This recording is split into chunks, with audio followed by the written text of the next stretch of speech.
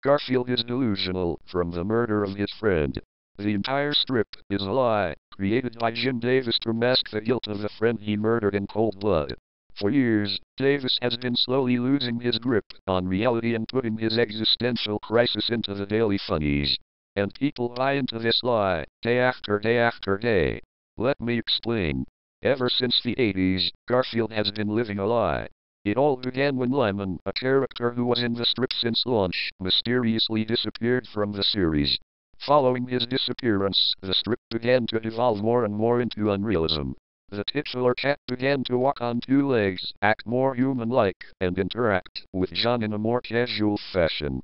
This was a large departure from the click, harmless cat humor seen in earlier strips. This all culminated in a strip in the late 80s in which Garfield wakes up to an alternate reality. Jon is gone, Odie is probably dead, and the house he lives in is abandoned. He slowly begins to starve, lost in a time that he no longer knows. In order to escape, Garfield uses the power of denial to summon back his old pals. He creates a comforting illusion where he continues to dwell to this day. Jim Davis is Garfield. In the early 80s, a friend whom he lost contact with for a few years decided to visit for one night back in town from a trip. But what was supposed to be a few years with a buddy turned into cold-blooded murder. Jim became downright murderous when his friend reminded him of childhood memories that were best left forgotten. Memories of abuse, memories of violence. It was too much for Davis. He broke down, fueled by alcohol, and began to repeatedly bash in the skull of his friend with a beer bottle.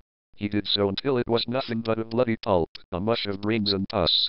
His friend's dog began to bark and yelp at Jim, and so he silenced him by throwing the dog against the wall and kicking it into submission. The dog lived, but was traumatized and happily stupid after the accident.